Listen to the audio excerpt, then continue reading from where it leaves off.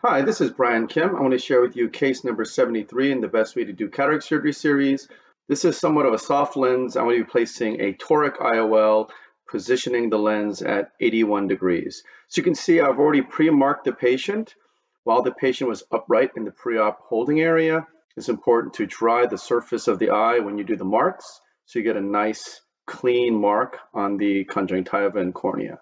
I use a cotton tip to steady the eye and then use a corneal marker which will help me to center and size my rhexis. I make my paracentesis incisions first on the right side and then the left side, making sure I stay flat to the iris plane so I can get a nice corneal shelf, which will allow me to achieve a self-sealing incision.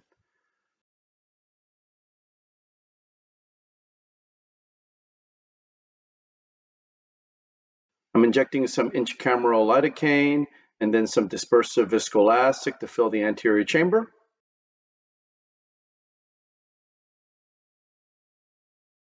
And I use a cannula to hold and steady the eye as I do the triplanar corneal incision. I make a vertical groove, place the blade into the deep part of the groove, tunnel into the cornea, and then when I've created enough of a corneal tunnel, I turn the eye towards me using the cannula and then enter. And so I'm using the cannula to provide me that extra control to make my incision. I'm injecting some more viscoelastic to fill the anterior chamber and to flatten the anterior capsule. I go in with the Rhexis forceps sideways and then begin the puncture style technique. I puncture the central capsule. Actually, this patient has somewhat of an elastic capsule, and so that didn't work. You know, young patients tend to have elastic capsules. And so this patient is a little bit older. So whenever I have a capsule that I can't puncture very easily, I am worried about zonulopathy. So I'm switching to a cystotome technique.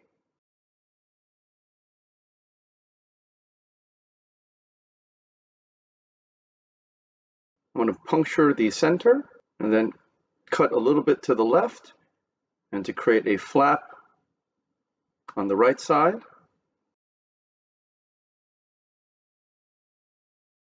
And then we'll switch to the Rhexis forceps now. Before doing so, I'm going to inject some more viscoelastic to flatten the anterior capsule because with all that manipulation, it causes more viscoelastic to come out. And so as I do the Rhexis, there's going to be a higher tendency for the Rhexis to run out.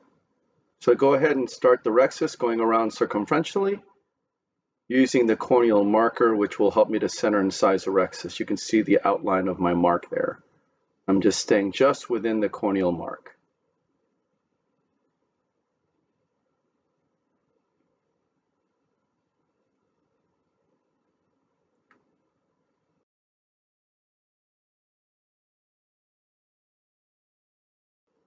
Go ahead and finish off the rhexis and burp some viscoelastic out of the eye.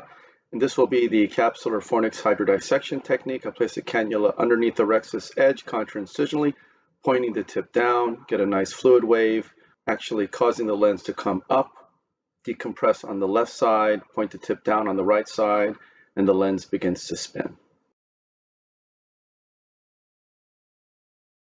There you go. I kind of loosened it up more on the left side, and now it spins a little bit easier. Irrigate the surface of the cornea, adjusting my sleeve lifting the incision with the chopper, going in with irrigation off to minimize Descemet's trauma, removing the surface epinuclear material, placing the chopper underneath the rhexis edge out to the equator, pointing the phaco tip vertically subincisionally, bringing the instruments together and crushing and bisecting the lens, that's double chop, placing the chopper around the right heminucleus, pulling it centrally toward the phaco tip, that is the cross chop, dividing the right heminucleus using a little bit of vacuum to lift that first quadrant up out of the bag and getting around it with the chopper and crushing it, dividing it into smaller pieces, and then emulsifying the lens pieces. Placing the chopper around the second quadrant, pulling it up out of the bag, and then crushing it between the chopper and the phaco tip, and then emulsifying the lens pieces and removing the lens pieces.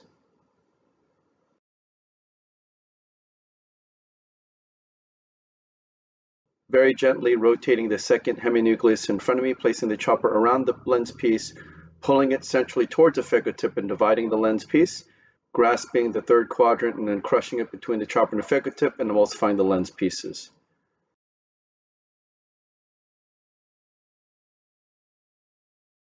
Doing the same thing for the fourth quadrant, grabbing it with a little bit of vacuum, holding it, crushing it between the chopper and the tip, and then emulsifying the lens pieces. Grasping the anterior portion of the epinucleus, and it starts to tumble out quite nicely. Holding the chopper deep in the bag as I do this to protect the bag. Take the chopper out, push BSS in, take the phaco tip out, and go in with the I&A handpiece. Starting sub-incisionally, I'm removing the sub-incisional cortical material, sweeping side to side, grasping the anterior portion of the cortical material and peeling it from anterior to posterior. Switching to polish mode, polishing underneath the rhexis edge of any lens epithelial cells.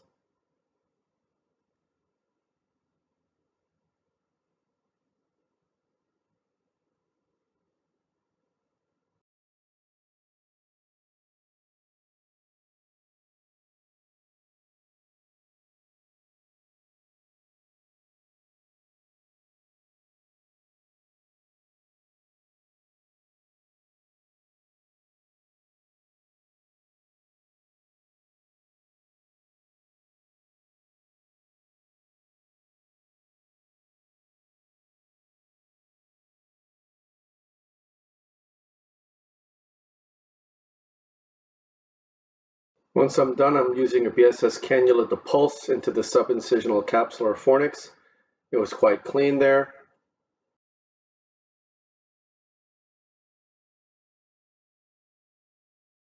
And then I'm going to fill the capsular bag with cohesive viscoelastic. And then using the sweep to polish underneath the rhexis edge.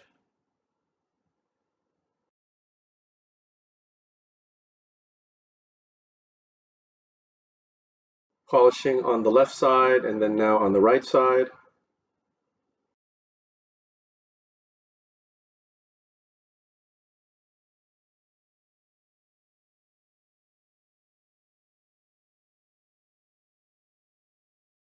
Injecting the single piece acrylic intraocular lens into the capsular bag, making sure the leading edge is within the bag.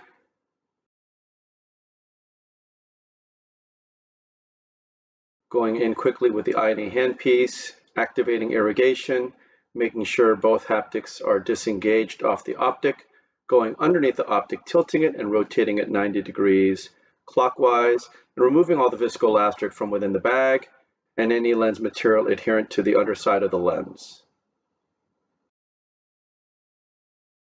Polishing underneath the rhexis edge, And then here I'm just making sure that I understand where the axis is going to be, and it's going to be at about 81 degrees. So I'm able to manipulate the lens using the I&A handpiece.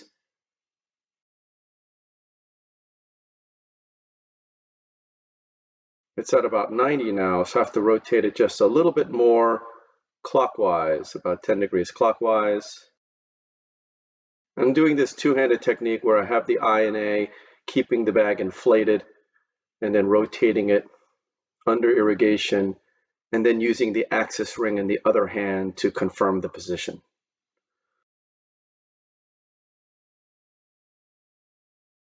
Once I'm satisfied that the position is correct, I'm pushing BSS with the cannula through the left hand, pushing BSS as I withdraw the I&A handpiece.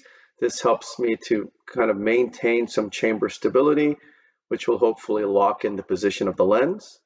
I start to hydrate my incisions, and once the pressure is physiologic, I go ahead and measure once again.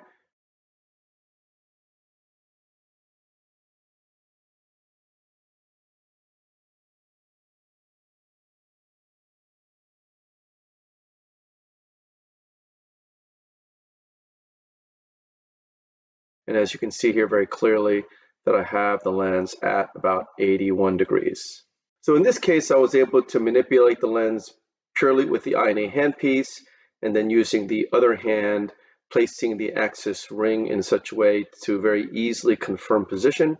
Once I've achieved the correct position, I push BSS with the left hand, withdrawing the I&A handpiece out and quickly filling the eye up with BSS and then hydrating the incisions. And this helps me to lock the position of the lens. So I hope this was helpful to you, and I thank you for your attention.